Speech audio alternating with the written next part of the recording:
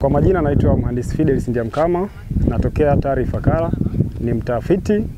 Uh, kikubwa katika elimu tuliyotoa leo kwa ndugu zetu wakulima ni kuhusu matumizi ya mbinu mpya ya umwagiliaji ambayo ni AWD ama kwa Kiingereza tunasema alternate wetting and drying.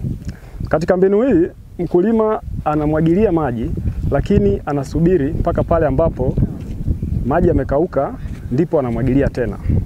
Kwa hiyo sasa tumewapatia elimu juu pia ya namna bora ya kujua ni wakati gani sahihi kwa mkulima kuweza kumwagilia tena, ambapo tumeelekeza matumizi ya mabomba haya ambayo yametobolewa kwa upande wa nusu, lakini nusu yako sawa, ambayo huwekwa shambani kwa ajili ya kuonesha kina cha maji yanayokuwa yamebakia hata yawapo chini ya ardhi katika shamba. Aa, kikubwa tumeonesha matumizi ya teknolojia hii kwa sababu ni teknolojia ambayo ni rahisi kupatikana.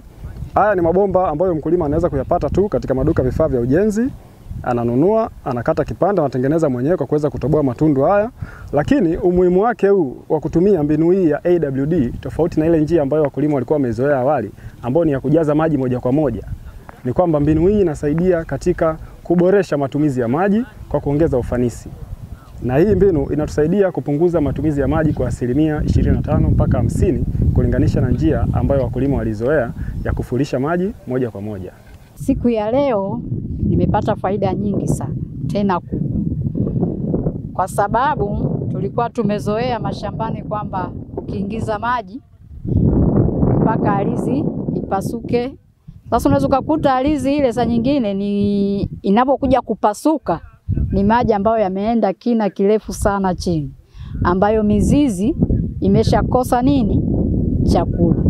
Lakini kwa kupitia kifaa hiki nimejifunza kwanza kwamba hiki unavochavanga lile shamba lako unakichomeka mle, kama shamba kubwa unaweza kaa navyo viwili vitatu, naangalia usawa wa nini wa levo yako ya shamba. Kwa kisha kiweka ukiweka mle, kunatakiwa kusiwe na tope.